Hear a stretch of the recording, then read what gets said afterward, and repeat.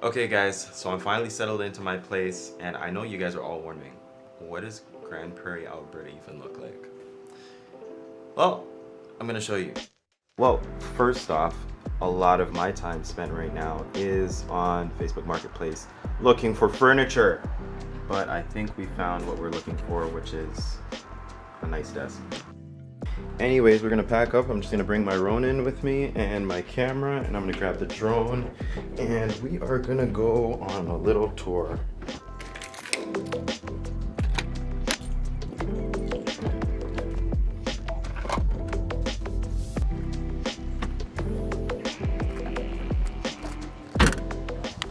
Okay, so right now I'm here at one of the bike parks here in Grande Prairie.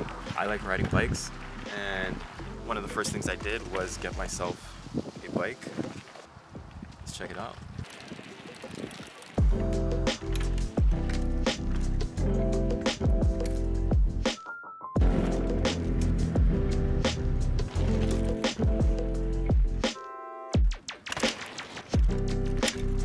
So I'm pretty exhausted right now. Got in my exercise for the day and what a way to exercise, right? But I'm gonna take you guys on a little tour of some of the rest of GP.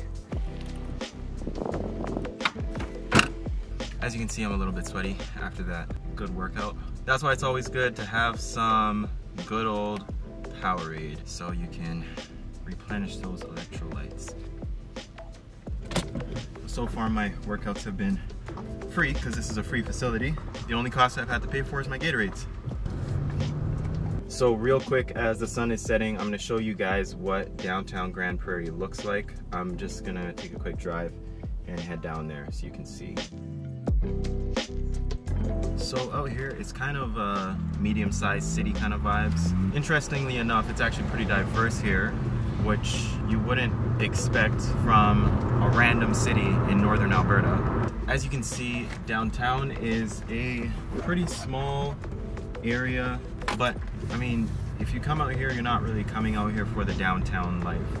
The downtown does look clean though, which is nice. It's actually clean and they're actually working on some projects right now where they're basically redoing a lot of the downtown core and making it look even nicer. It's a cool place to be, it's just there's nothing happening here. Now I know specifically for myself, one thing I was really concerned about was, am I gonna be able to buy anything there? Like what kind of stores are really there in Grande Prairie? Like I just wanted to make sure that, you know, if I went out shopping, that I actually could go shopping. And luckily enough, this place does have pretty much everything you need. The only thing that I wish it had that it doesn't is a Machi Machi, which is a matcha drink shop that we have in Toronto and a IKEA. An IKEA would be super clutch as I'm trying to get some furniture to, you know, spruce up my place. But unfortunately, there is none here. The closest one is in Edmonton, and that's four and a half hours away.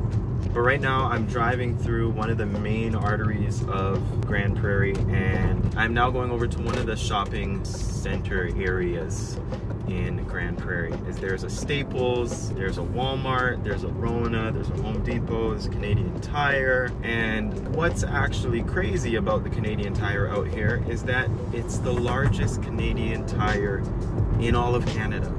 And I'm not making that up. Grande Prairie holds that as one of their key features.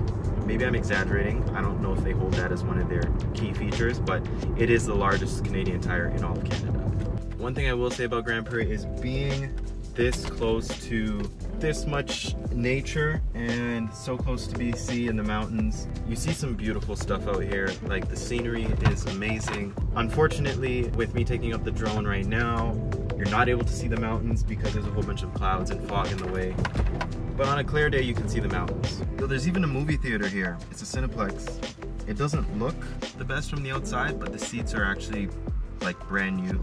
So I'm actually gonna go and see a movie right after this. It's 10.04 and the movie's at 10.30. I gotta go home, have a bath, and then come back, which I should be able to do because I live like five minutes away. And that's the thing about Grande Prairie. Everything is so close, it's ridiculous. You can literally get from one end of the city to the next in like 10 to 11 minutes.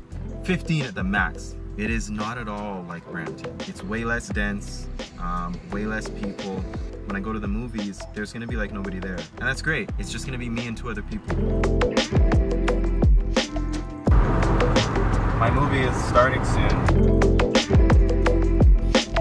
So as you guys can see, this is the neighborhood where I live. There's a whole subdivision over on this side. There's some condos on that side. Okay, so we're back at home. I'm going to try and quickly have a shower.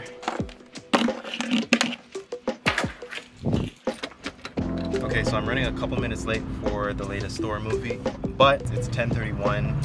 I'm gonna get there in maybe four minutes. I just got a little bit too comfy in the shower, and that's another thing about here. It's 10:32 right now, and the sun is setting. The days out here are pretty long, which is cool in the summer, but in the winter they're gonna be super short. Y'all can see the really nice hospital that they've built there. It's huge. And we're pulling up to the Cineplex right now. I think I'm still gonna make it. Okay guys, so that wraps up this uh, very quick episode. Um, just showing you guys what my evening looks like here in Grande Prairie. I hope I gave you some sort of insight as to what it's like out here, but I will be making a lot more content in the future, giving you guys a much better perspective with hopefully some more uh, cool things in it. But yeah, thank you for watching and I will see you guys in the next one.